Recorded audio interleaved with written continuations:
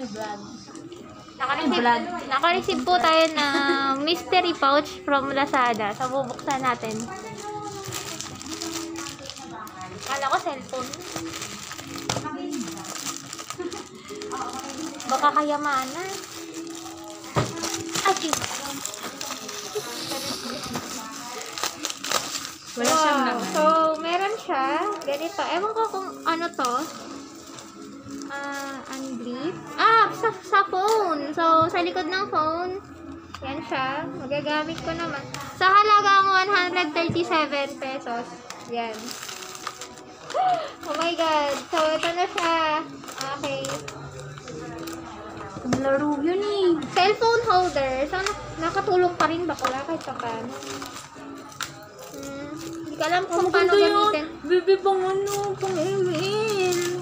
Mm-mm. So, meron din siya ganito.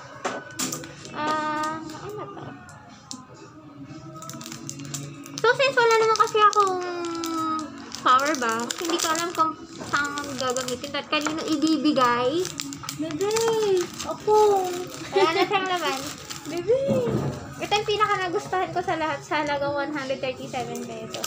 Bebe, nasa na yung ano Thank yan? you!